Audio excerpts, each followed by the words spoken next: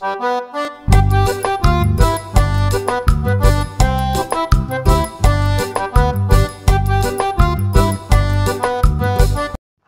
अस्सलाम वालेकुम क्या हाल है आप सबका? आई होप आप सब बिल्कुल ठीक होंगे, सब खैरियत से होंगे, खुश और आबाद होंगे। अल्हम्दुलिल्लाह, मैं भी बिल्कुल ठीक हूँ। आज मैं आपके साथ शेयर करूँगी मिल्की कॉर्न की रेसिपी कॉर्नस को छल्ली भी कहते हैं और भुट्टा भी कहते हैं। और आज मैं इसकी जो रेसिपी आपके साथ शेयर कर रही हूँ, बहुत सिंपल है और पंद्रह मिनट में ये रेडी हो जाती है। बजाय इसके कि आप इसको सादे पानी में बॉयल करें। अगर इस रेसिपी से बनाएँगे तो भुट्टा बहुत टेस्टी बॉयल होगा।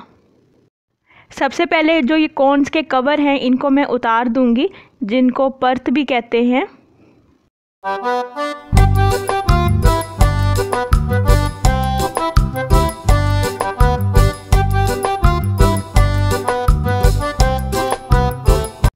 सबसे पहले एक देचकी लेंगे और उसमें इन कॉर्नस को रख देंगे और इसमें अब मैं पानी डालूँगी फ़ाइव टू सिक्स कप्स या अपने अंदाज़े से पानी डाल सकते हैं। इतना पानी ज़रूर हो कि ये जो कॉर्नस हैं उसमें अच्छी तरह डिप हो जाएँ।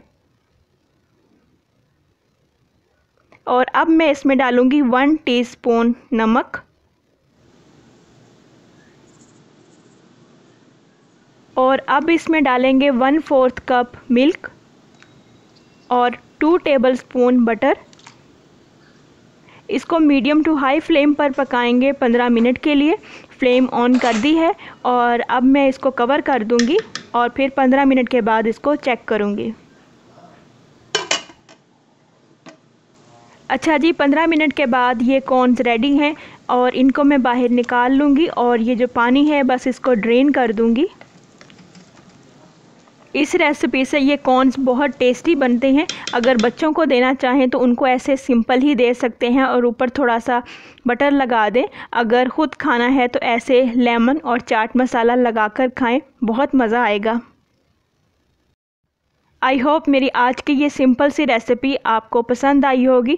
अगर पसंद आई है तो लाइक और शेयर ज़रूर कीजिएगा और इस रेसिपी को ज़रूर ट्राई कीजिएगा और फिर मुझे आप कमेंट सेक्शन में ज़रूर बताइएगा आपको ये कैसी लगी।